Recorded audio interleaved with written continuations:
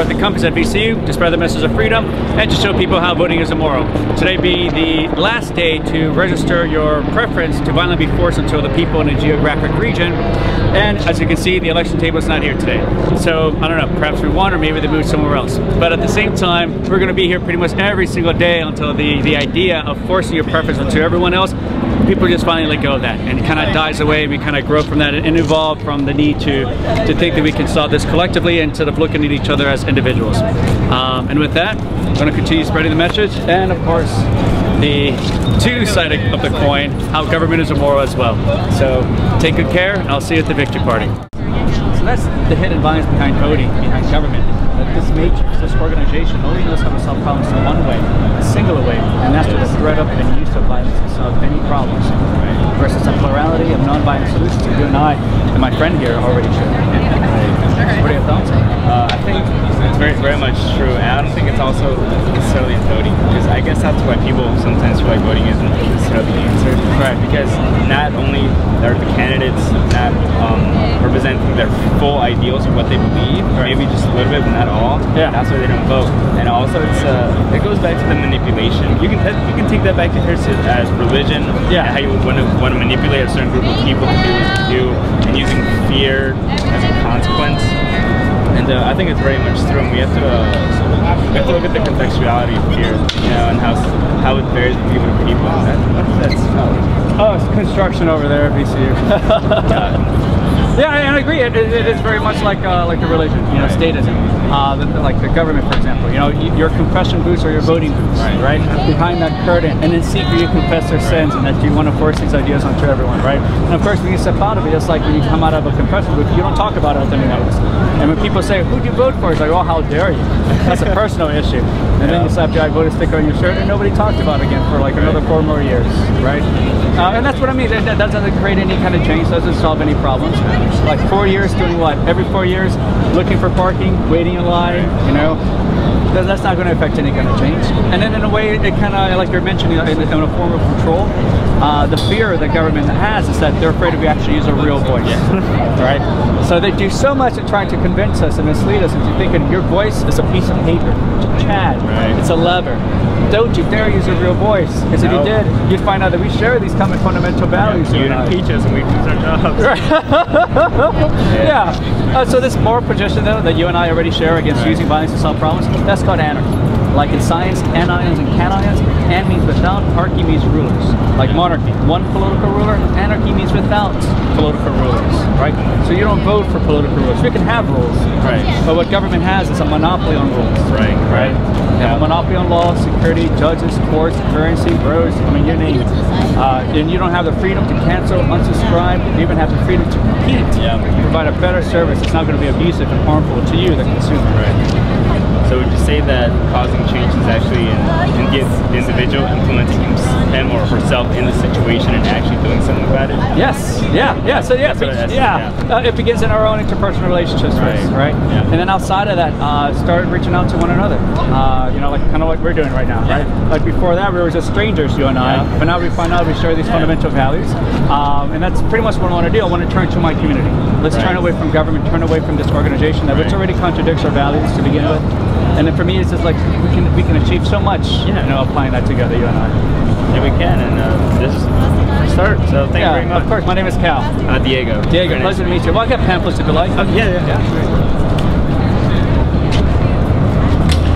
So, uh, voluntaryism pamphlet.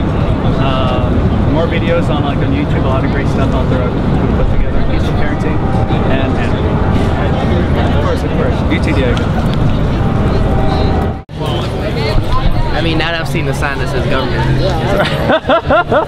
so I guess you just think like our governmental institutions are already inherently. Yeah. So like it's an illusion of free will, but we're already like working within like a yeah. Oh yeah, you got it. yeah, they're two sides of the, of the coin, right? Um, once the institution we're forced, we're born into, you don't have a choice. Uh, like for example, like Social Security, they forced a service upon you before you were born. You did not give consent to that, right? You never said, uh, I would like that. You, this is before you were born, so they forced it onto you before you were born, and you'll never even have that when it's time for you to retire. Yet you're still forced to pay for it, right? Um, I mean, that would be considered moral, right? You didn't give power of attorney. you didn't give consent before you're like a little zygote, right? But I'm just wondering, like, what's like, what's the alternative? The alternative, okay, the alternative, uh, I guess we're just skipping the questions. You, you pretty much got this figured out. So the alternative is pretty much in your day-to-day life, you don't use violence to solve problems, right? You would say so yourself? Uh, and and our, our, us uh, over here, these two gentlemen too, we don't use violence to problems. For the most part, none of us do, right? So in the day-to-day life, we don't use violence to problems. So let's continue on that road that we don't use violence to problems. Except when you look at government, government only knows how to solve problems through one way though, and that's through the threat of and use of violence to solve any problems. Right? Everybody contradicts our moral integrity to begin with right? Uh, you know, e- even still, all those government services are still funded through taxes, and taxes is nothing but theft, right? If it was voluntary, it would be called charity, right? And, and, and then, and then the, the service that they have, though, they're monopolized services, right? So government has a monopoly on law, which is why they don't allow a polycentric legal system. They have a monopoly on security. They have a monopoly on judges, on courts, on currency, on first-class mail, on uh, on roads, on schools. You don't have the freedom to cancel, unsubscribe, or even have the freedom to compete against those monopolized services to provide a better service. It's not going to be harmful and abusive to you, the consumer. Right? And that's what we will look like in a free voluntary society. Right? So what we're advocating here is anarchy. Like in science, by definition, it means uh, anions and cations. An means without, archy means rulers. Like uh, monarchy, one political ruler, anarchy means without political rulers. Right? So we can still have rules outside of the monopoly on law. At least we can have it in a way that we can voluntarily consent and agree upon. Right? How so? Uh, for example, like you go to um, you go to a nightclub. Every nightclub has particular rules, and you consent to those rules, and you conduct your behavior as the norm in that nightclub, right? Uh, less, and they do provide security, right? There's a bouncer there who'll kick you out if you're an asshole to the other patrons. Uh, even Disney World has rules. Uh, Six Flags, Seven Corners, uh, you know, a lot of different places have their own particular rules. So you, all right, I agree with this rule. If it was too extreme, nobody would go there, right? It has to be a lot lax, has to be a lot tolerable, more accepting, uh, which then allows the freedom for competing preferences of communities. Like now you can have an apartment complex that's 420 friendly, one across the street is not, right? It's, it's dependent on whoever owns that particular property. That is Right? awesome, I man. mean, isn't that still like a form of Wow, hegemonic? you took this from How so? Uh, the, the, the nightclub metaphor, you know, you still have like an established standard that everyone has to follow unless they're kicked out. Yeah, yeah, but at least it's consensual. But at least now you have so many choices of nightclubs to go to, right? And all these, it's kind of like you go to a food court at the mall, competing, uh, well, like food agencies trying to give you food, serve you food. Like the most aggressive way they will come at you. It's like, look, please try this free sample. Look, no, go with us instead. You know, discount for today for you only. You know, a lot of different ways to cater to your needs, to your preference. That's like the most they'll ever go, and that's pretty much how businesses will go. Uh, we have a sale today. You know, we, we have a discount tomorrow. Join our membership, and you get a lot of you know percent off. Um, just trying to cater to your preferences. So economically, you're kind of just like advocating like a free market. Yes, a real free market. A real free market. And, there, and the thing what exists today is a state-controlled market. Uh, like corporations, for example. Without a government, there's no such thing as a corporation. All a corporation is is a piece of paper backed and enforced by government that allows the CEOs to escape personal liability for their actions. Right? Um, and then they're able to offset the cost of the employees by lowering their salaries to the consumers by raising consumer prices. So without a government, like even government has immunity from their own actions, right? So they kind of grant that immunity to other people too in the form of corporations. And that's pretty much how it starts. So without government, no corporations, goes back to the way it used to be where we held personal liable for actions. Kind of like give too much faith in humans.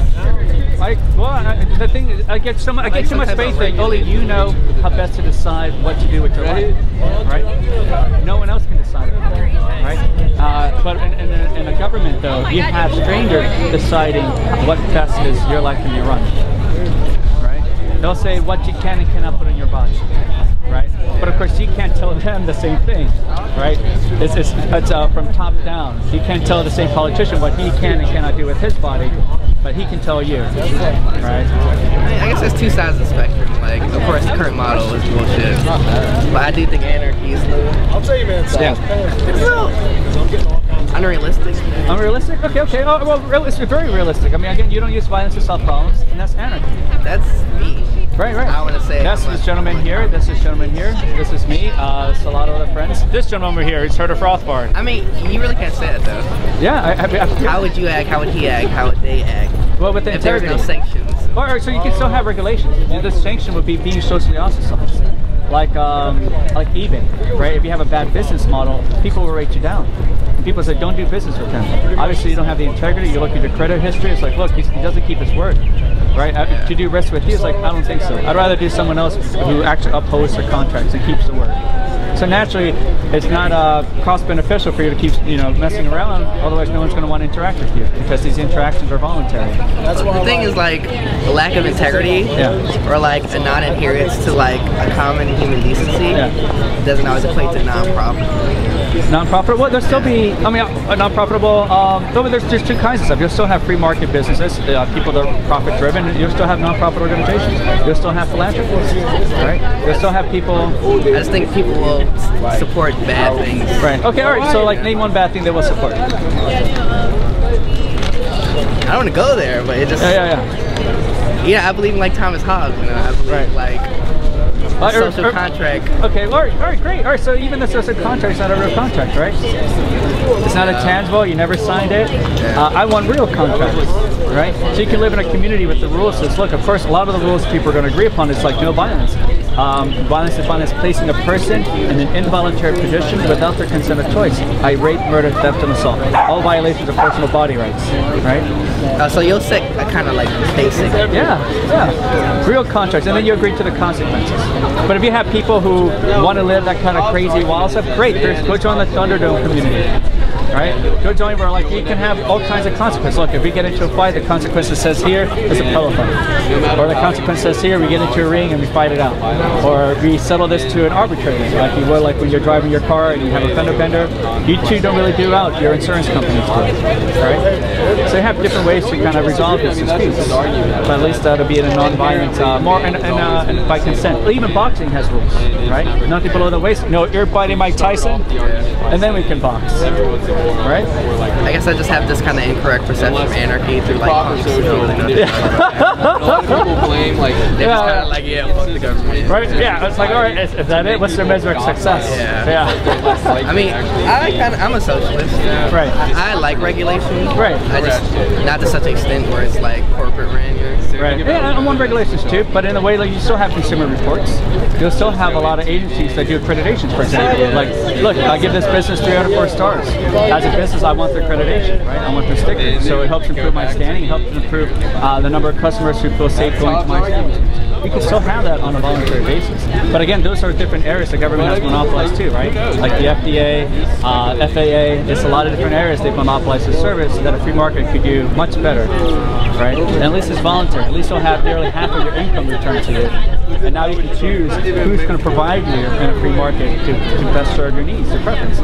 Like in a free market, again, like plasma screen TVs that came out a couple years ago cost thousands of dollars, right? Today you can buy a better version for a few hundred bucks because there's competition. But we don't have competition.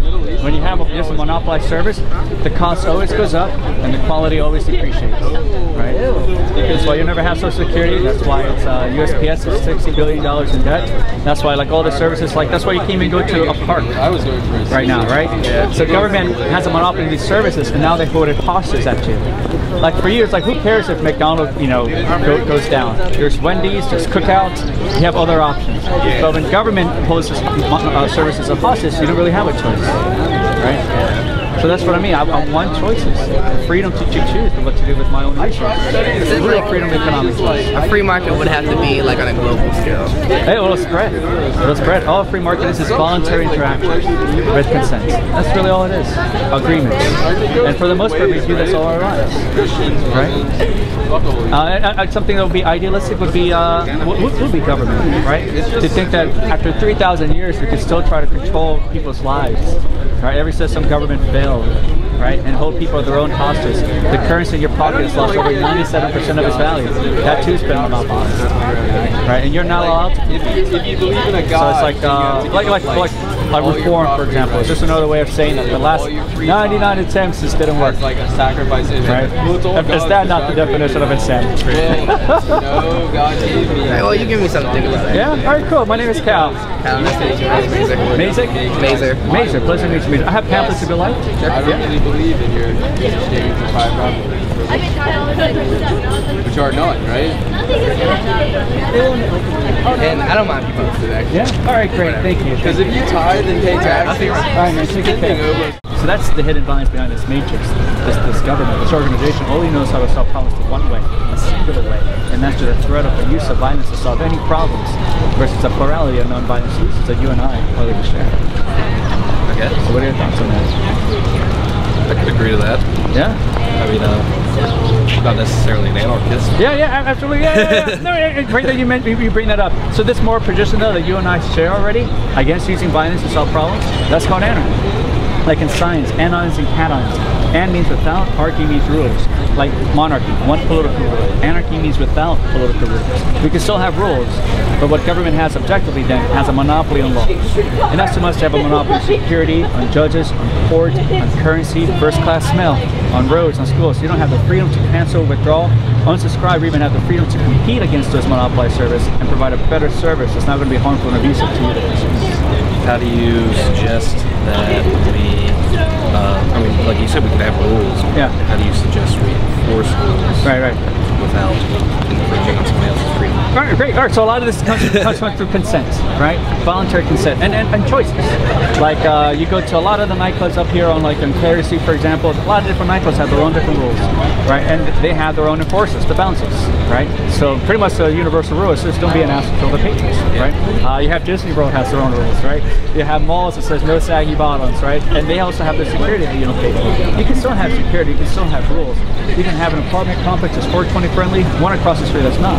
But least it'll be consensual for the people entering that property, right? I agree to the rules and the consequences. Sounds good to me, right? If you want to live in a Thunderdome community, great, go for it, right? at least it's voluntary, right? Okay. What's not voluntary is uh, the services the government forces on you. You don't have consent, like Social Security. You never agreed to that before you were born, Yeah, that's true. right? And this, and you still have to pay for it, and you'll never have it when it's time for you to retire. So all this really revolves around consent. But government doesn't allow you to have is consent. It's non-consensual, right? And I I want real contract. So that's what you end up having in a free voluntary society. Real contract, not a social contract. Doesn't exist. It's not tangible. I don't even see it, right? I want a car contract or a house contract or a real tangible contract in my hand that I can, you know, sign my name or give real power of attorney to. So would you say if you were born into a situation where your parents put in a contract that you don't want to be a part of, Right. how do you, what do you do? Uh, what, now you have the voluntary freedom to leave. So it's a freedom to Well- give consent and withdraw the consent. What if you're like unable to make that decision cognizant? Uh, as a child? Yeah. All right, so, so pretty much you don't really own your children. You pretty much, uh, as a parent, you granted uh, guardianship to help raise this child. Okay. And the effect that when the child comes up of, of age to understand, the child would have made the best decision. Say, you know what, you guys were the best parents. Thank you for bringing me into this world because I didn't have a choice, right? Yeah. But you still decided to be my parents. You could have given me up for adoption. You could have given me up for, for, for a lot of other reasons, but in the end, you chose to have me. Right? So there's no obligations, you know, going from the child to the parent. Just um, you, you raised them as uh, human beings. Yeah. And then when you're grown up, you have choices, right? Is then there's voluntary. It's like, you know what? I don't like this. It's too conservative for me. I'm going to go move into that community instead. That makes sense. Yeah. I like your ideas. Am I going to be on the internet? Yeah, yeah, yeah, oh, yeah. Did, you- do you join the conversation? Yeah, so it's a YouTube channel. It's pretty much showing a lot of people, answering a lot of questions, trying to turn it to a community and turning away from government. Okay. Uh, we're part of an organization called Liberate RVA. It's a non-political organization. So pretty much just uh, just doing just that. All right, well, I'll, I'll make sure to check it out. Yeah, of course, of course. Yeah, yeah. Hey, let me pass you uh, these pamphlets real quick then.